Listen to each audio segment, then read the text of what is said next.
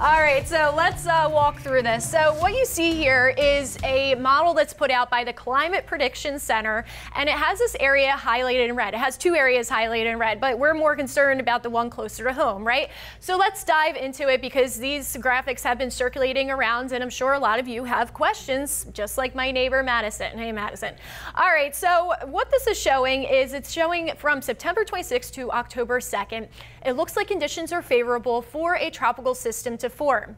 Now, going beyond that, where does that system want to go? Well, that's when we have the uncertainties start to make a play. So today, the National Hurricane Center did highlight that area with a 20% chance, which is a very low probability at this time, for development over the next several days. Now, we, we, when we look at the ensemble models, we have the GFS and the Euro. That's just two of the models that we use. We have to go all the way through this weekend up until Monday, this upcoming Monday, to see anything start to form here.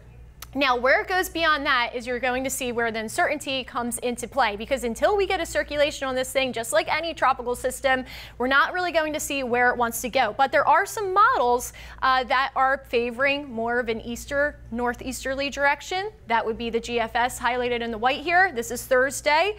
And then we have the Euro that's pointing this more towards the central Gulf and towards the uh, west. So what's playing into here? We have a front that's starting to drop in. Uh, we have that warmer water that's making a play. Basically, we have to wait and see. This is just a waiting game to see where the system wants to go. Hasn't even formed yet. But of course, we are keeping you uh, connected here in your Tropic Center, and we will have the latest updates as we've received them.